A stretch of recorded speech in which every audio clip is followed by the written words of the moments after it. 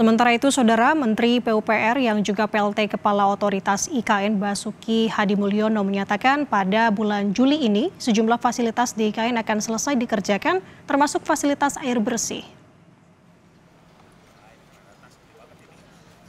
Basuki menyatakan istana dan kantor presiden akan selesai pada bulan Juli ini. Infrastruktur lain yang sudah selesai di antaranya kantor Kemenko, rumah menteri, dan 12 tower untuk ASN. Basuki menegaskan pada 15 Juli ini fasilitas air minum juga ditargetkan sudah akan masuk ke IKN.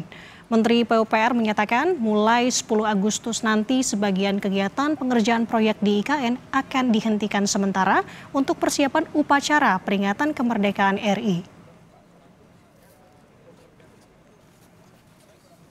Wah, nanti pada Juli ini sudah akan selesai. Jadi kantor presiden, istana presiden, kantor-kantor Menko yang empat lantai dari empat tower tiga lantai sudah siap. Jadi insya Allah 15 eh, Juli ini rencananya air minum sudah bisa masuk ke IKN. Nanti tanggal 19 akan cek ke sana. Rumah Menteri dari 36 mudah-mudahan akan selesai Juli ini. Dari 47 tower ASN, 12 tower insya Allah akan selesai furnished.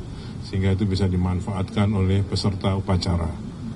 Tanggal 10 eh, Agustus semua paski braka sudah Uh, move uh, udah bergerak ke sana. Makanya tanggal 10 Agustus saya hentikan semua pekerjaan yang, yang membutuhkan mobilitas di luar. Beijing Plan segera berhenti.